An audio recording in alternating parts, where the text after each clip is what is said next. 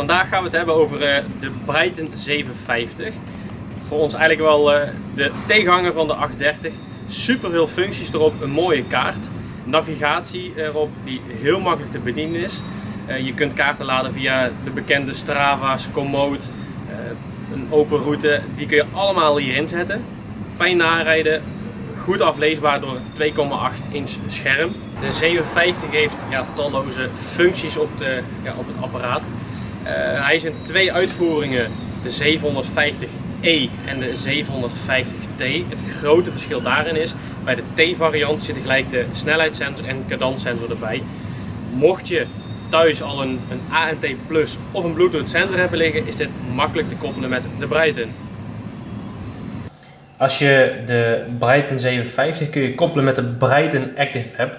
Dat wil zeggen eigenlijk dat je de routes die je maakt, download je naar de Active App.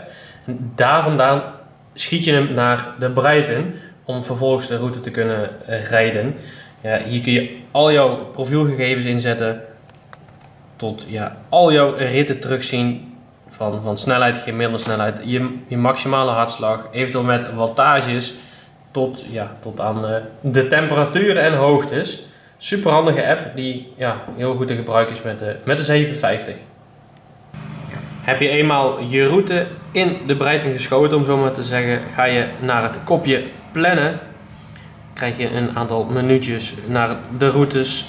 En dan kun je eigenlijk alle opgeslagen routes gaan kijken. Bijvoorbeeld hier staat een rondje van Bergendal in van 157 kilometer.